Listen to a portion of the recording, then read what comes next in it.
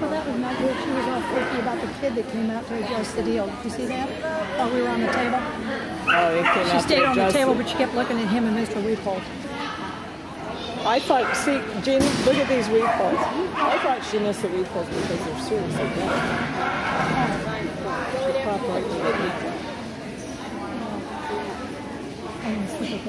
I mean, yeah, maybe she was thinking. him coming off the table. So the, the kid is adjusting the chute while the dog He needs to stop. He needs to wait to Echo's gonna freak out. I mean, I can tell you right now, Echo I'll will. go say something to him. Oh, if you don't mind, thank you.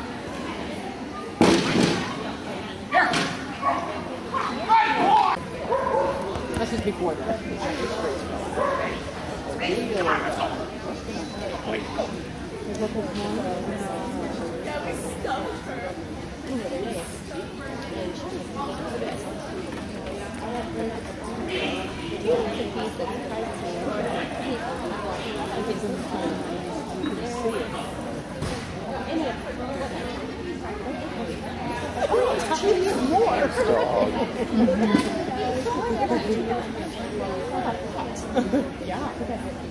yeah.